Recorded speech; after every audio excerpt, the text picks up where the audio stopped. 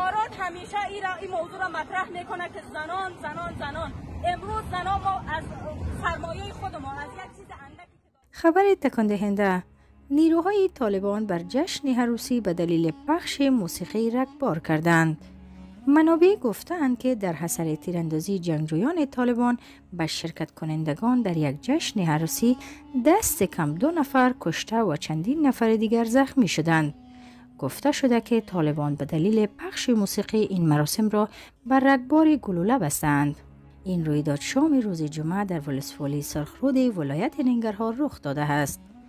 یکی از بزرگان محلی که نخواست نامش فاش شود روز شنبه به خبرگزاری آلمان دی پی آی گفت که در ابتدا طالبان به روسایان اجازه پخش موسیقی داده بودند اما بعدا تعداد از نیروهای آنها به مراسم عمله کردند و حداقل دو نفر را کشتند و ده نفر را مجروح کردند. انیف ننگرهاری سخنگوی ولایتی طالبان وقوع این رویداد را تایید کرد اما افراد مسئله ناشناس را مسئول این رویداد خواند. طالبان در زمانی که بین سالهای 1996 تا 2001 بر افغانستان حاکم بودند موسیقی را کاملا ممنوع کردند و آن را ارام خلاف آموزهای اسلامی و گناه می دانستند.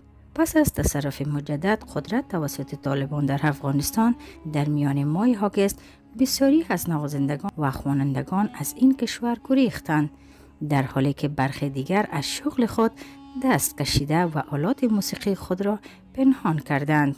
دوستان شما هم می توانید در این مورد نظریاتی داشته باشید.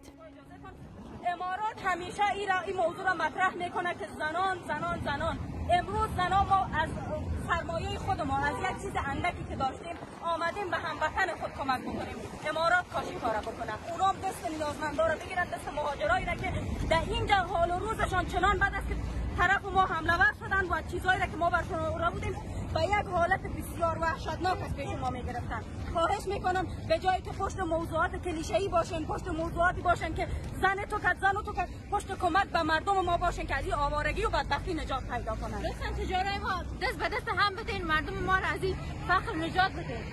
دفلای ما ببینید به خاطر یک لباس امروز